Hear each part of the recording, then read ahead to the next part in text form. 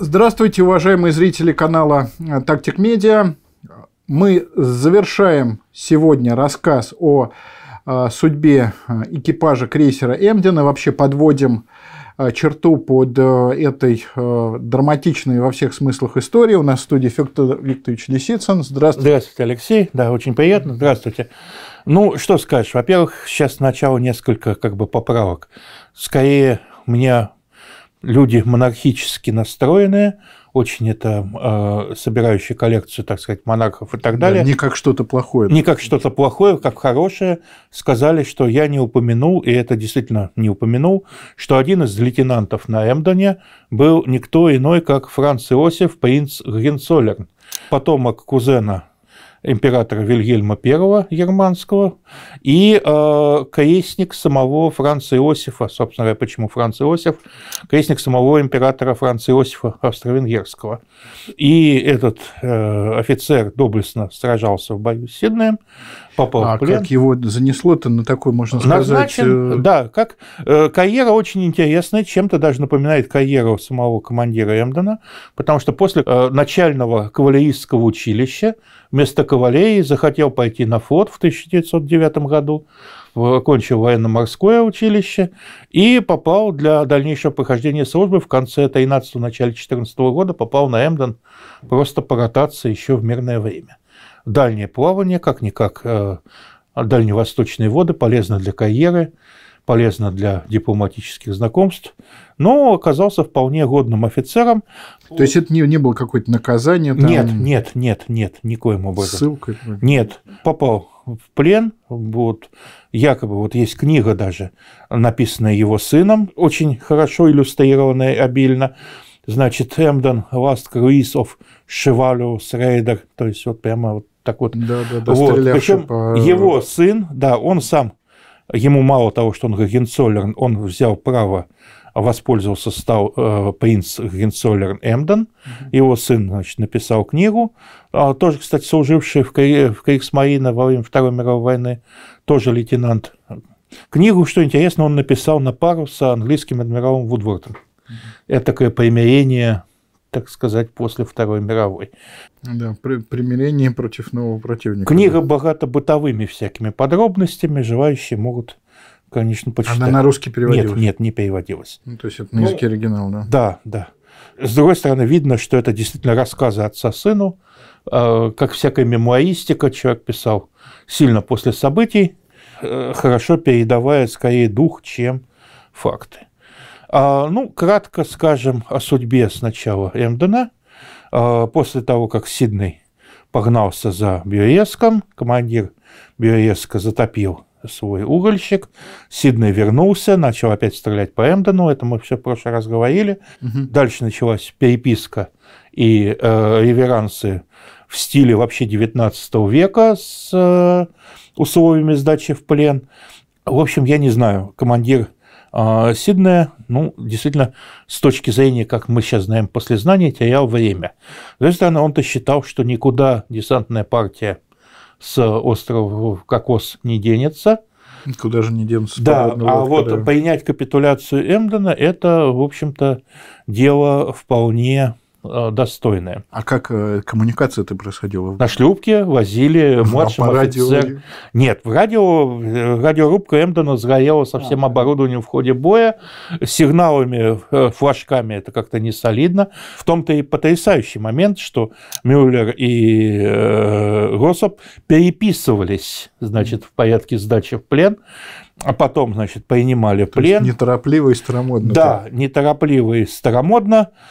Хотя немцы согласились, сдались, матрос Вернер, э, плача, как пишут, прямо-таки поднялся на мачту, поднял, спустил флаг, поднял белый флаг на грот мачте, но э, Сидней решил после этого прекратить огонь и, понимая, что немцы никуда не денутся, пойти, наконец, на остров Дирекшн, собрать призовую партию э, капитан-лейтенанта Мюке а э, как, насколько пострадал-то Сидней? То есть он э, хоть, хоть чего-то получил? Нет, Сидней получил как минимум 11 попаданий. Ага. На Сиднее, э, был разбит кормовой дальномер, был пожар боеприпасов, складированных у носового орудия. У англичан традиционно подача опережала возможности экипажей расстреливать снаряды, это их как, никак не остановило. А Юнга Сиднея получил первый в австралийском флоте крест Виктории за потушенный заряд. А, он его, э, когда э, затлел Ага. Оболочка заряда к 6-дюймовому орудию Юнга мгновенно ухитрился кинуть его в катку с водой, расставленные по кораблю как раз для этой цели. Это действительно подвиг самообладания. Крест Виктории был заслуженный. В Англии крест Виктории, в общем-то, равноценен Герою Советского Союза, если даже не более редко вручаемая награда. А на Сиднее было убитых и умерших от ран 4 человека, 10 человек было ранено. Броня, броня и еще раз броня она спасла целиком и полностью от немецких снарядов. Семь или восемь попавших в корпус корабля немецких снарядов бессильно разорвались на броневой обшивки. Это... На броневом поясе, да? Там трудно сказать даже пояс. Если посмотреть на схему бронирования легких крейсеров вот типа Сиднey, а, как раз Бирмингемов и все вот этих последних таунов британских, там броня, по сути дела, до верхней палубы.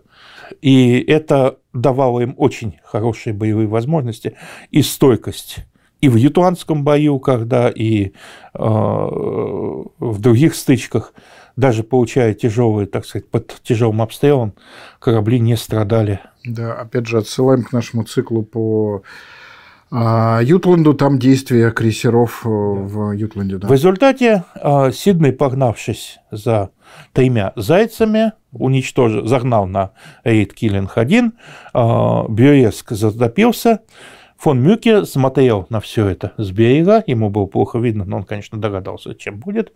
Вот. А экипаж Эмдена, а, убитый и умер от ран более 130 человек, был действительно немножечко даже серьезно сердит, потому что только а, если в 11 15, где-то в 11.30 Эмден выкинулся на берег и окончательно прекратил огонь, то только в 10 часов вечера, почти через 11 часов, англичане наконец-то начали снимать с Эмдена матросов и офицеров. За это время единственная, так сказать, польза, помощь от э, австралийцев была очень своеобразная.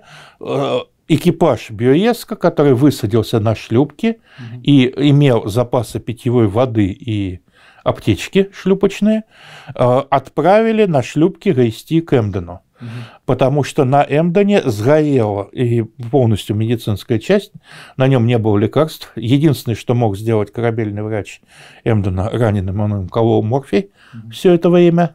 Там были ну, какие-то да, в общем, так, так себе, то есть местные средства кровь, перевязки, да, но э, разрушенная, так сказать, это операционная, ну там это медицинский блок был разрушен с попавшими снарядами.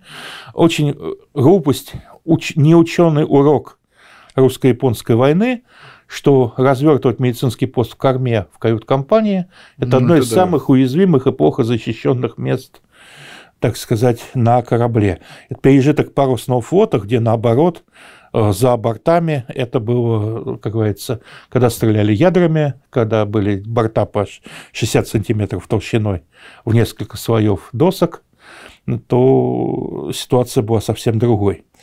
Экипаж Эмдена сняли, а, так кратко направили а, с довольно серьезными почестями в австралийские порты, потом, значит, перевели кого куда, офицеров на Мальту, ну, это мы уже говорили. Англичане начали тут же, ну, англичане не будут англичанами, наследство Фрэнсиса Дрейка, заветами Дрейка верны. Первое, что сделали британские матросы, высадившись на Эмден, это сняли корабельный указ.